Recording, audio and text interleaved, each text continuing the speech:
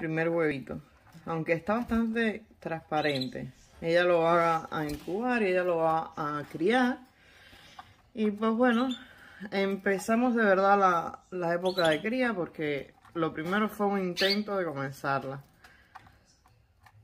Qué alegría, el primer huevito. Voy a verla de arriba y os dejo aquí grabando. Para que veáis, se acaba de parar. Sentí yo que estaba cantando, aunque tiene las patas súper blancas. Eso necesita recuperarse, pero parece que tiene muy buena condición física. Ese es el macho. Que tengo que vigilarlo, no vaya a ser que no le guste el huevo y lo vaya a romper y lo voy a ahorcar. ¿Y tú? ¿Tienes huevito? ¿O solamente te estás calentando? ¿Qué tienes, huevito? ¡Huevito! Tenemos huevito. Hoy es el día de la puesta de los huevos. Hago un corte y os enseño arriba, ¿vale? Y a ver, la voy a parar un poquito porque esta tampoco se quiere parar, es normal. Acaba de poner el huevo. O sea que solo es. Y tenemos ahí el huevito de la roja.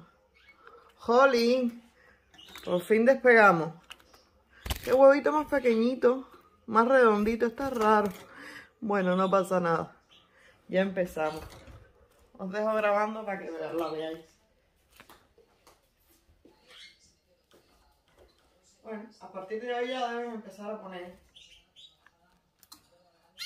Que no me gusta el macho de abajo, como, como mira el huevo. Que igual lo separo.